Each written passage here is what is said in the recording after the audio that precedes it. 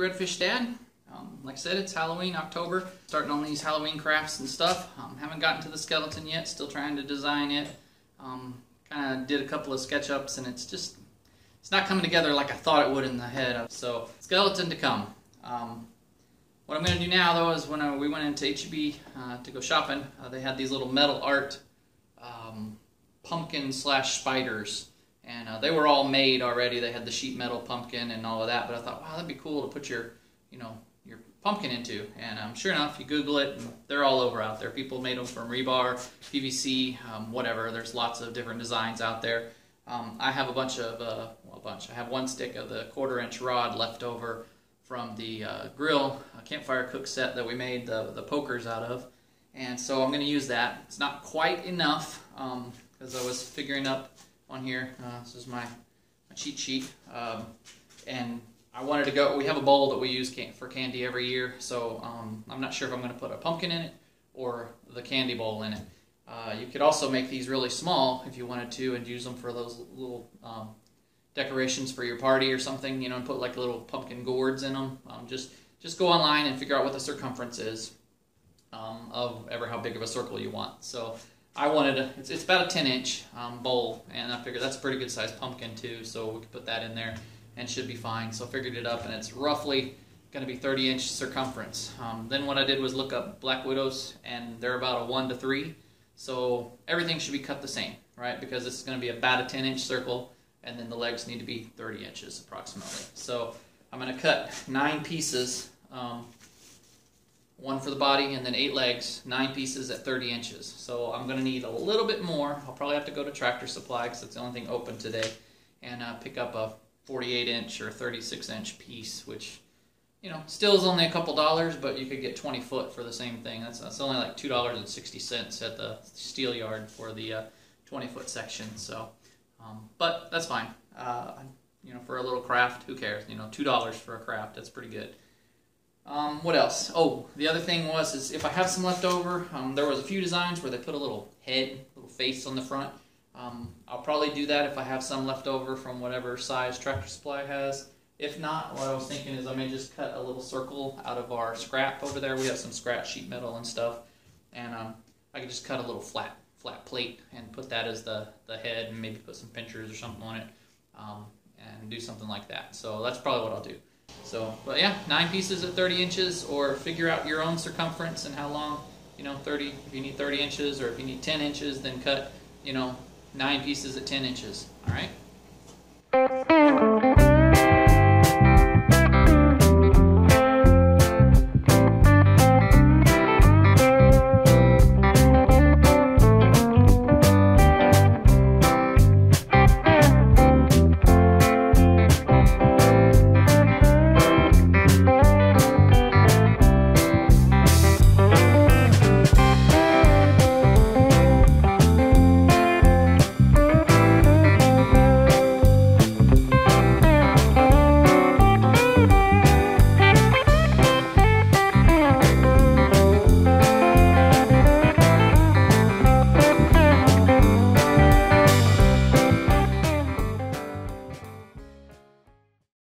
So it's not perfect, but I'll get him tacked up and welded right there, and then I can you know do that same thing and just tap on him and get him around.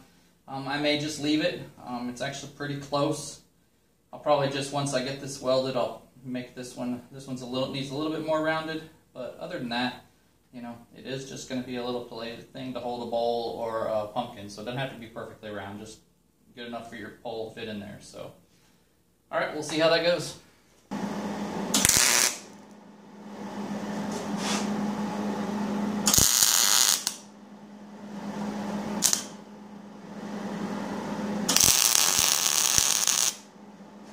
Okay, I can grind that down.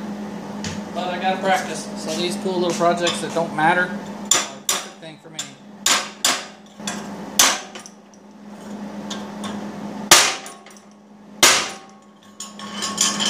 Alright, that looks pretty round. That's gonna be good right there.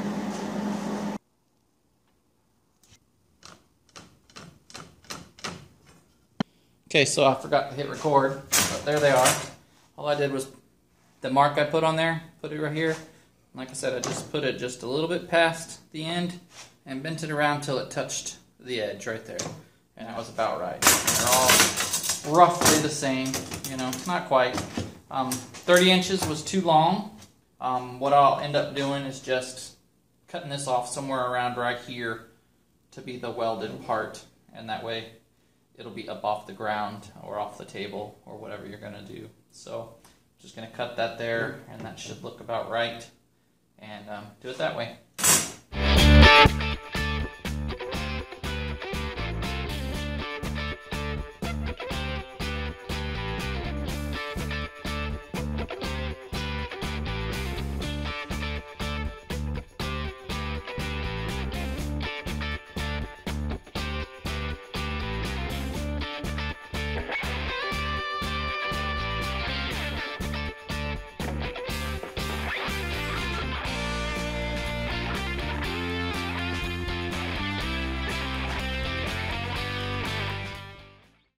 Okay, so I didn't have to go to Tractor Supply since I changed the length, right? Um, I had already cut them though, so that was a shame. But um, I just, you know, welded them together. That's ugly, but I'll grind it down right before I paint it. And um, made me one more leg. So now I have my nine pieces that I needed. Man, I really needed that today. Why? No, just needed that relaxation. What'd you do? Cut? No, I just moved hay all different kinds of things. Close your eyes. Go ahead.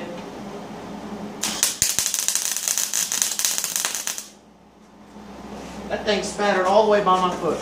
Yeah, it's pattern bad.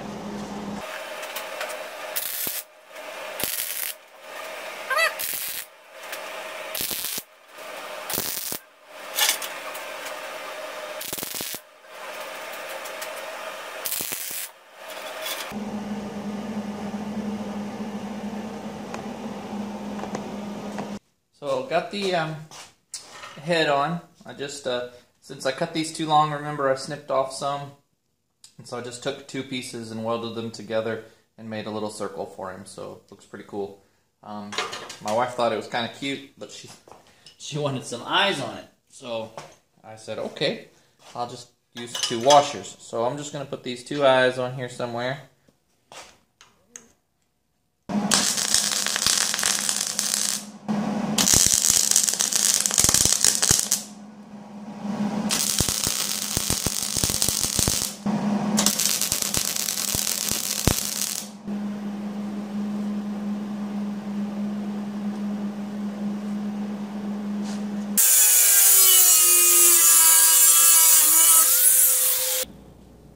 Sorry about that. Forgot to readjust the camera, um, but that's okay because it really sucked. I went all the way through, got a knob there. Anyway, but I, that's what grinder's for. Actually, no, it's not. You're supposed to be really good at welding and not have to grind. But hey, um, it's a spider. So there we go. Let's see what he looks like. Grind off a couple of the globs and then paint him, and that's it.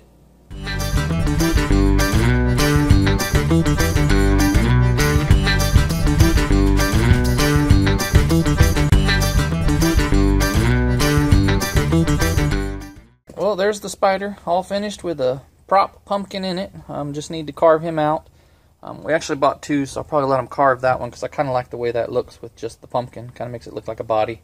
Um, having more eyes and a mouth might kind of offset. So, anyway, but that's what we're gonna do. Uh, leave him like that. Put him on the porch. Um, we're actually gonna do some trunk or treat at the church. So you basically pull up and kind of decorate your parking spot and your trunk, and then the kids come around and trick or treat in the parking lot. So we'll probably take some of this stuff out there as, as decoration. Um, but anyway, this guy's a pretty good sized pumpkin. I don't know. Here's here's my foot. You know, up next to it down there, about the same. So, you know, good 10 inch pumpkin or so. The circle was 10 inch diameter, so um, that'll give you a size of it. But you can adjust this to be, you know, small little table size for a gourd. Um, you could even put a little bitty gourd in here for the head. Um, would make it look kind of cool.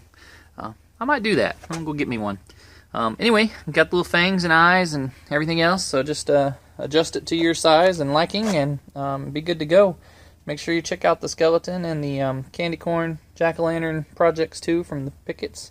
And um, we also got some um, Fourth of July flags or you know Memorial Day or whatever. Uh, I might get a head start on those. But thanks for watching, and we'll catch you in the next video.